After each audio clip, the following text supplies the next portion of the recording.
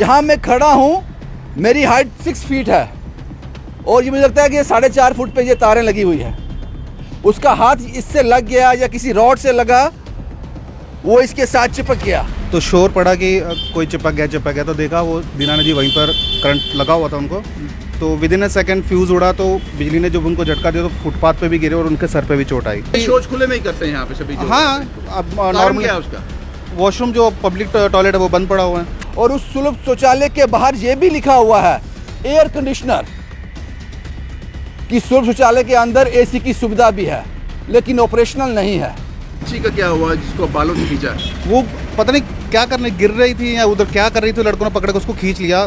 पता नहीं बिजली की वजह से था या पाँव स्लिप हुआ वो एग्जैक्टली हमें भी नहीं पता क्या हुआ पर पकड़ के खींच लिया पास चली जाती तो मुश्किल हो हो सकता। लेकिन इनको देखिए ये मुझे लगता है तीन फुट पे हैं। अगर मैं इसको टच करूँगा अभी मर जाऊँगा। ये छोड़ेगी नहीं मुझे। कल तक दीनानाथ बिल्कुल ठीक था, लेकिन आज वो अस्पताल में है।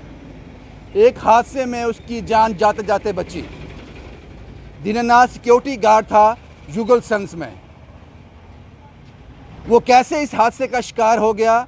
कैसे वो मरते मरते बचा?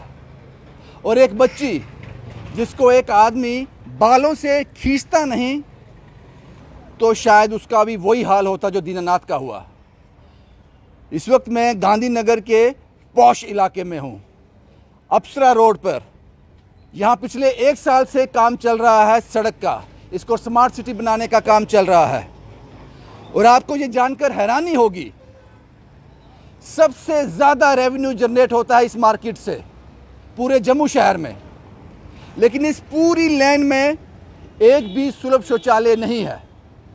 एक है ईरा का, बिल्कुल मेरे 100 मीटर दूर। लेकिन वो काम नहीं करता। अच्छा बोर्ड लगाया है और उस सुलभ शौचालय के बाहर ये भी लिखा हुआ है एयर कंडीशनर कि सुलभ शौचालय के अंदर एसी की सुविधा भी है, लेकिन ऑपरेशनल नहीं है।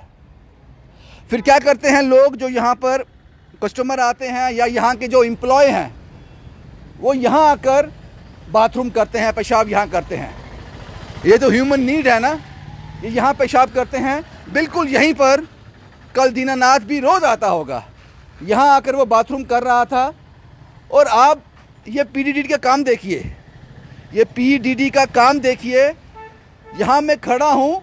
मेरी हाइट सिक्स फीट है। और ये मुझे लगता है कि ये साढ़े चार फुट पे ये तारें लगी हुई हैं। उसका हाथ इससे लग गया या किसी रॉड से लगा, वो इसके साथ चिपक गया। बिजली ने उसको पकड़ लिया। अचानक से कोई फ्यूज़ में कुछ धमाका हुआ और छूट गया, जल गया। यहाँ के लोगों ने उसको आनंद फानन में जीएमसी में भर्ती करवाया। मर जाता। अगर ये फ्यूज़ नहीं उड़ता है तो मर जाता यहीं पे।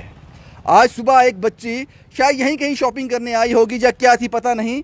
यहाँ यहाँ पहुँची तो यहाँ के एक एम्प्लॉय ने उसको बालों से पकड़कर पीछे खींच लिया। वो भी शिकार हो जाती। अब इन तस्वीरों को देखिए।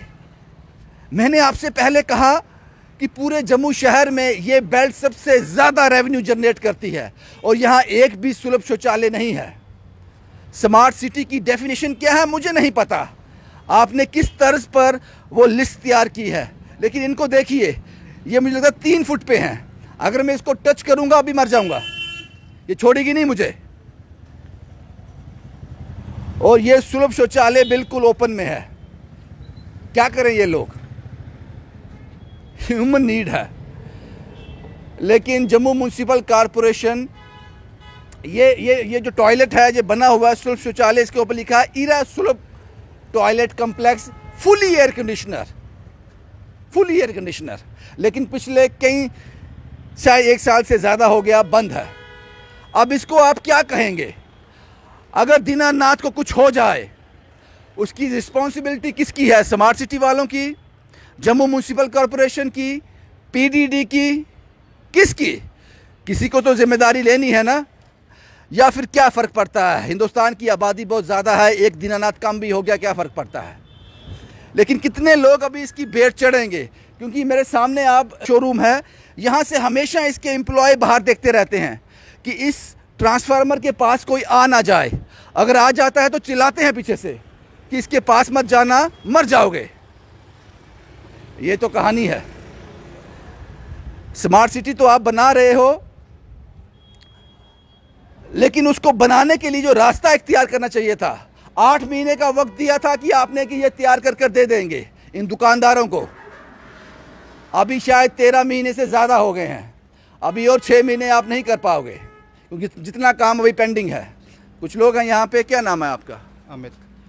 क्या हुआ? दीनानाथ को जब कल, वो कल घटना हुई, आप यहीं पे थे? हाँ ऑलमोस्ट शॉप बंद करने का टाइम था। तो हमारी दुकान से मतलब ऑलमोस्ट सारे जो भी इम्प्लॉयज़ घर की तरफ़ निकल रहे थे।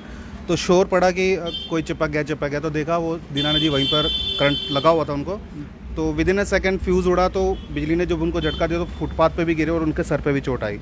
तो उसके बाद इनकी खुद की स्टाफ की गाड़ी थी योगसंस वालों की।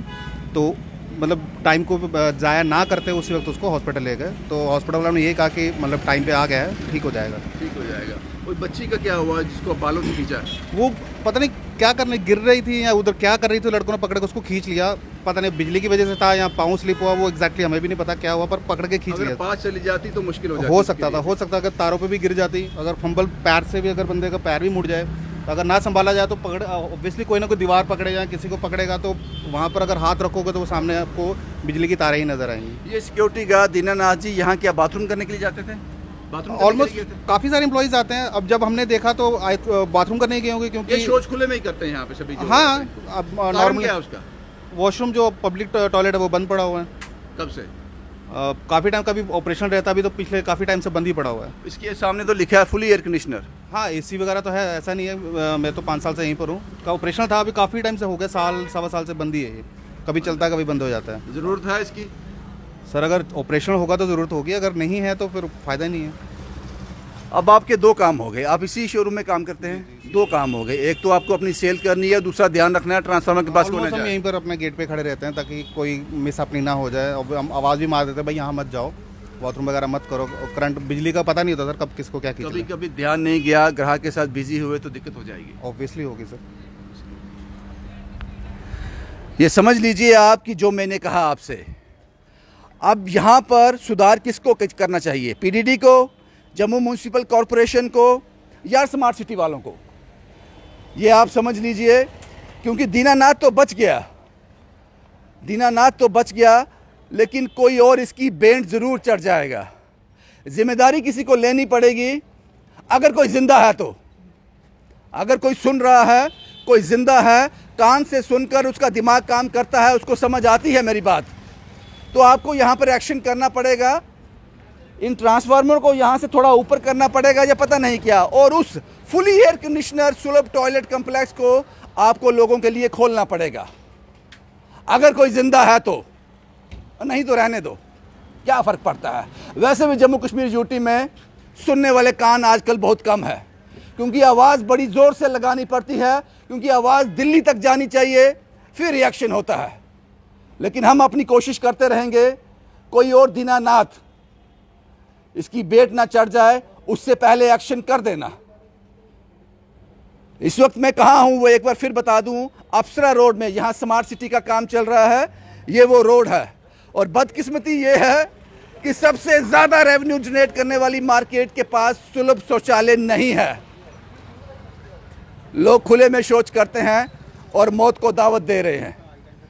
शुभम कुमार के साथ Ravindra Singh, the State Sentinel के लिए।